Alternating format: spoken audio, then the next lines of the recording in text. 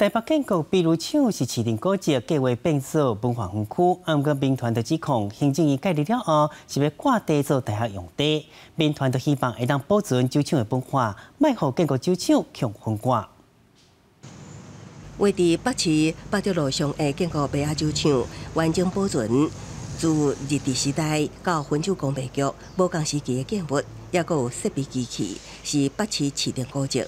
严过民间团体指控，行政院强行介入，由中央按照都市计划法做变更，部分会挂地和北口袋，直接把文化资产，呃，还且还是生产线运作的区域，直接很大的面积就划归出去给学校。大部分的文化古迹，它就会脱离原本呃它的历史脉络。这么重要的一个工业遗产在这个地方发生，我们却不把它保存下来。如果我们回顾去看 Boston。它著名的一个啤酒厂，今天已经变成世界大家去波士顿玩的重要的一个啤酒工业的园区。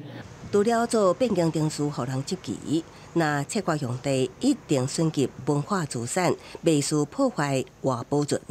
在地里长也出面清明，希望政府唔通不顾在地完整保存历史建物的期望，包括文化资产、地方的繁荣。把那个好好的一块国有的基地，把它大卸三块，就摆在那边，嗯，这个太不负责任了。共同来商议一个最好的解决方案，希望台酒的土地啊能够啊有所开发，而且呢，啊台酒的这个酒厂的文建筑文资呢，也都能够有所保存。经过白亚酒厂伫两年前，原计划变更做文化园区，不过因为北市府加台酒无继续相关作业，行政院才调集相关部会来。共同协商解决方案，相关变更作业定数下第十六由内政部召开会议，会继续甲各界沟通。记者综合报道。